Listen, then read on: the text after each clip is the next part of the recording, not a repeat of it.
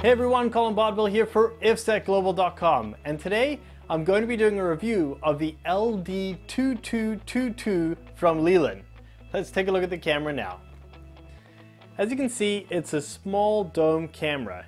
It has a wire harness coming out of the back of it with your PoE enabled Ethernet jack as well as an optional 12 volt DC jack.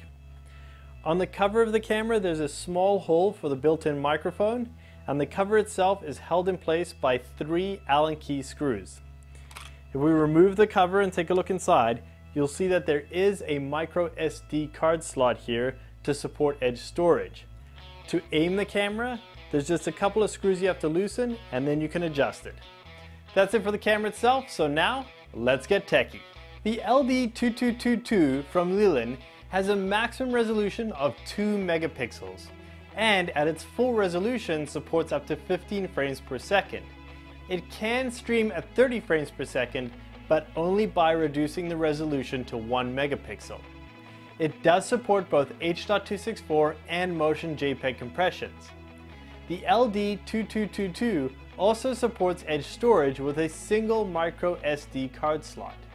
It can be powered using PoE or 12 volts DC.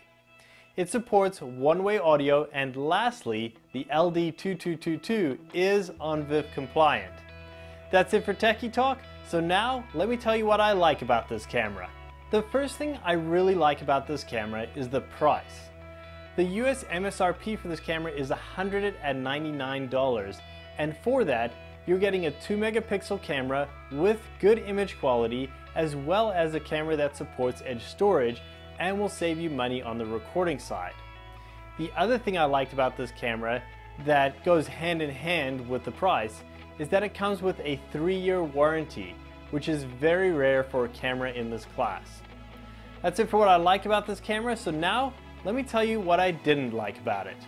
What I didn't like about this camera really all circled around its performance in tough lighting conditions, particularly where a high dynamic range was required. The camera does have a few wide dynamic range settings built into it, but I found them disappointing when really put to the test.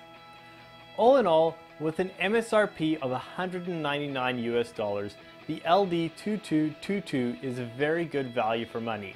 Like I said before, I wouldn't use it in environments with tough lighting conditions, but I do think it's a great fit for indoor applications with controlled lighting.